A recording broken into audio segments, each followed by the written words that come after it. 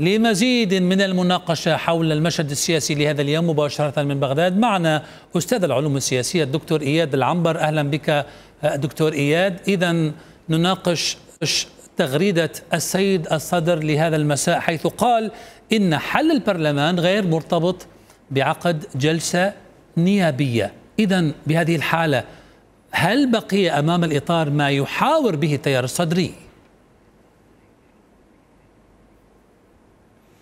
لا حقيقة هو أصل الموضوع عدم الوصول إلى نقاط التقاء في قضية الحوار أو الجلوس إلى التفاوض في الحوار. الإطار التنسيقي عندما قدم نواب التيار الصدري استقالتهم سارع وجاهد نحو عقد جلسة استبدال الأعضاء. وكانت هذه الخطوة واضحة بأنهم يعني حققوا مكسبا سياسيا أصبحوا لهم العلوية داخل مجلس النواب. حتى أنهم كانوا يتناغموا أو يجاملوا مع بعض النواب والكتل التي جديدة الصاعدة مستقلون وغيرهم لكنهم تخلوا عنهم في أول اختبار حقيقي في قضية مناقشة من يكون مرشح الإطار التنسيقي لرئاسة مجلس الوزراء. هذا جانب الجانب الثاني قضية أنه الشلل الذي أصاب مجلس النواب لحد هذه اللحظة هو انعكاس حقيقة عن أو حتى هذه التغريدة عن لا زالت التجاذبات بين سيد المالكي وسيد مقتدى الصدر هي سيدة الموقف.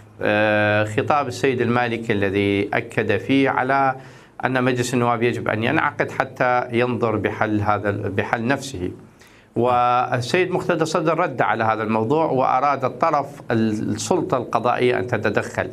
لكن حقيقة الكثير من الأسئلة والإشكاليات تحتاج إلى التوضيح. ما طرحه السيد مقتدى الصدر هو تحديد توقيت وطرح بأنه سوف يحدد الخطوات اللاحقة. ومن ثم هذه المواضيع لا يمكن طيب. أن تكون يعني دكتور بالنسبة للقضاء. إيش تتوقع إيش تتوقع إذا الخطوات اللاحقة للسيد مقتدى الصدر الذي لوح بها خصوصا يعني إذا ما خذل الشعب العراقي ما الخطوات الأخرى أو هل هو نوع من التهديد؟ لا حقيقة الخطوات أعتقد أن أعلى مراحل التصعيد هو دخول المنطقة الخضراء وتعطيل مجلس النواب أي خطوة أخرى سوف تكون نتيجتها هي صدام مسلح بين قوى الإطار التنسيقي والتيار الصدري. وأعتقد أن هذه التفكير بهذه الخطوة سوف يكون هنالك حسابات أخرى. لا يمكن أن تنتهي عند حد معين أما أن يكون هنالك رابح أو يكون هنالك خاسر. هذا التفكير أعتقد بعيد عن ما يطرحه السيد مقتدى الصدر لكن الحلول ممكن أن تكون سياسية. أعتقد قوى الإطار التنسيقي أنها ممكن أن تطرح مبادرة وتحدد أنه مهام الحكومة وخطواتها اللاحقة. لا يمكن الحديث عن بقاء رئيس جمهورية بصلاحيات كما حددها الدستور وأقرت ذلك المحكمة الاتحادية بممارسة مهامه من دون الولاية. هذه النقطة جدا مهمة في قرار المحكمة الاتحادية الأخيرة. وحتى النص الدستوري عندما يتحدث على أنه لا يتمتع بولاية كاملة في القضايا التي تتعلق بصلاحياته الدستورية ولكنه يمارس مهامه العادية بالتوقيع وغيرها من القضايا.